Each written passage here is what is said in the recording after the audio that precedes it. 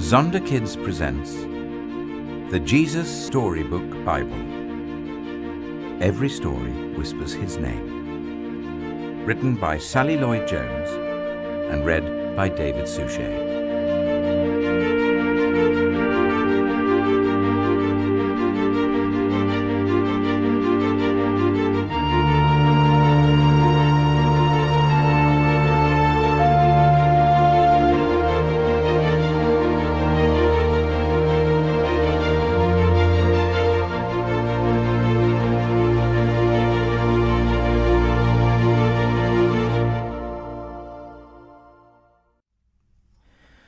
Son of Laughter.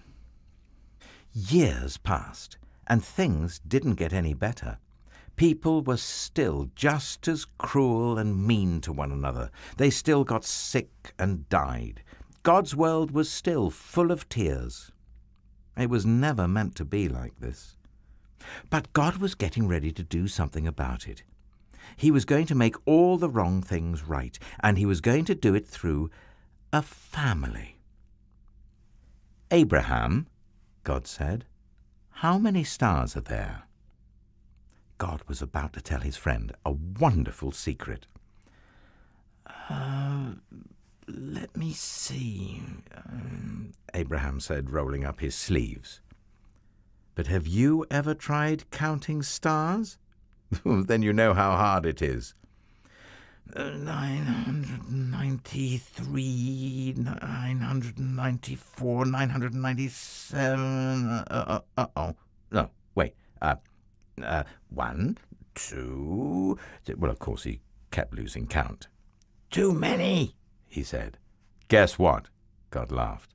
I will give you so many children and grandchildren and great grandchildren, you won't be able to count them either.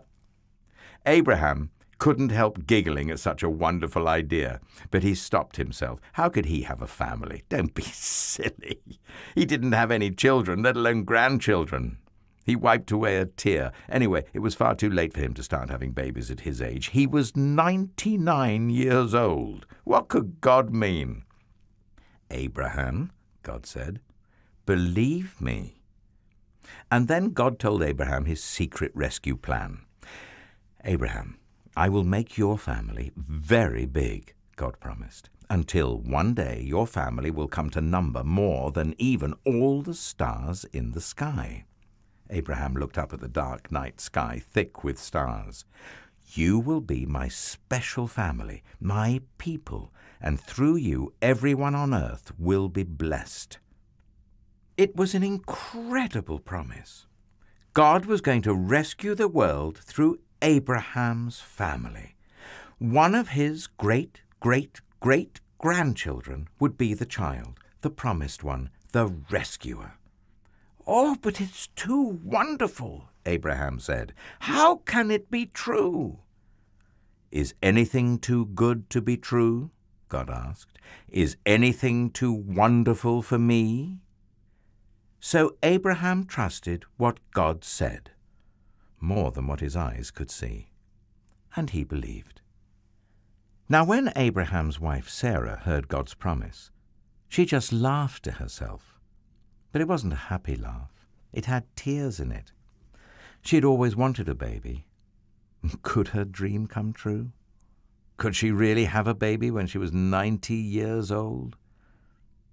No, of course not. Don't be silly. It was far too late. Sarah didn't believe God could do what he promised. She had forgotten that when God says something, it's as good as done.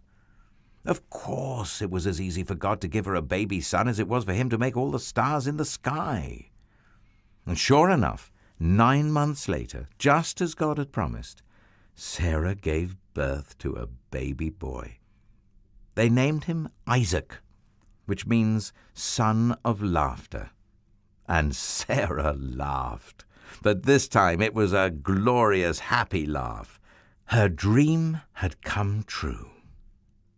God would do as he promised. He would always look after Abraham's family, his special people. And one day, God would send another baby. A baby promised to a girl who didn't even have a husband.